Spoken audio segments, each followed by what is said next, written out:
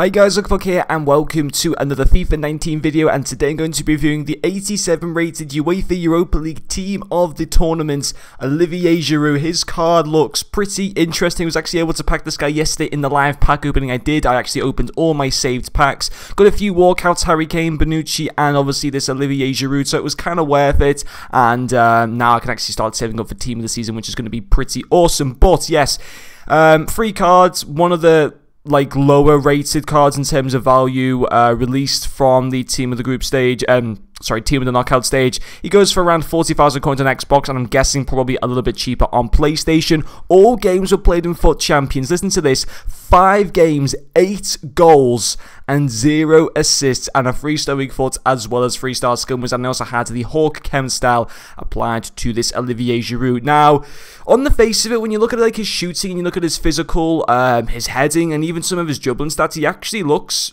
okay. I mean, but at the same time, his pace, his stamina, his agility, his balance look uh, terrible.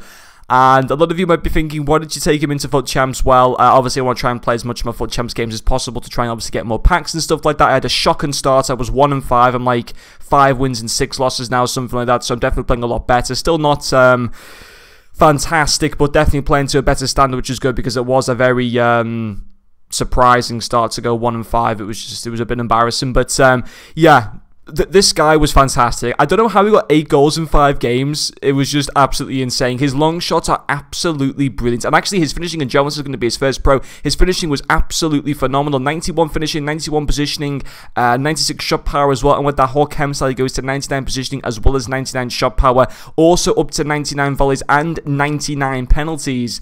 Um, his long shots are only at 81, but I think his long shots felt so good just because of how good his finishing and how good his shot power was. It made his feel like it, it made his long shots feel better than 81. Um, I'm pretty sure he might have scored me one or two goals from outside the box, but also his finishing goes up to 96, which is fantastic. And he just buried a lot of chances that I had with him. If not, the goalkeeper makes some good saves and stuff like that. I think you can only expect so much from like a 40,000 coin card at this stage of FIFA. You can't really expect him to play like a prime icon moments card. You can't expect him to play like uh, the inform Aguero that I partnered him up with. You can't uh, expect that. But one thing I will say is you've got to play this man in a two-man attack. And the thing is, he worked for me a lot better in a two-man attack with Sergio Aguero because they're two completely different players. You think of Sergio Aguero as a really quick, agile player, has got a lot of pace, natural finisher. Giroud sort of a natural finisher, um, very slow, um, but at the same time, big, strong player. You know, Aguero lacks in strength. Giroud's got that, so they were able to really link up with each other really well. And actually, also some of Giroud's passing stats are pretty decent. He didn't get me any assists, but actually, you know, that 88 short passing and 86 vision allowed him to link up pretty nicely with the likes of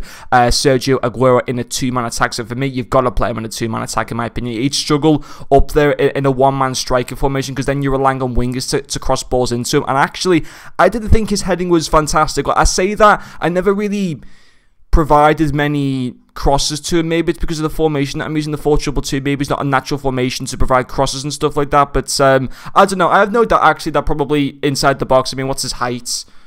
Six foot four, same height as me. So actually, he probably would be pretty decent um, when it comes to crossing. Maybe that's something that I should have done a little bit more because his jumping with the Hawk Chem still goes to 99 and his heading accuracy remains as well at 99, which is absolutely fantastic. Maybe I didn't abuse that much. Maybe I should have done that. But uh, no, finishing overall was very good. And then obviously his strength for being the second pro, 93 strength that goes up to 98. His aggression goes up to 90 as well. Really, really strong player because he lacks so much in pace and his pace is bad in game. It's not the worst of the views. It's it's better than that hero Fernando Llorente's card. Imagine having those two in the same team he's got like 35 picks or something like that. But um, yeah, because he lacks in pace, but his strength is absolutely insane because it does feel like that. And obviously, combining it with the height of six foot four, he's really good at being able to muscle players off the ball and stuff like that, so he can get into dangerous areas, so he can you know provide chances for like Aguero and stuff like that. So uh, strength wise, absolutely fantastic. We will touch on the cons. He does feel clunky. I'm not gonna sit there and deny that. You know, 60 agility and 57 balance is obviously very bad. Should I maybe put a chem style to increase those? Yes, but most chem styles don't really increase agility and balance by too much. Even if I was to increase his agility to like 70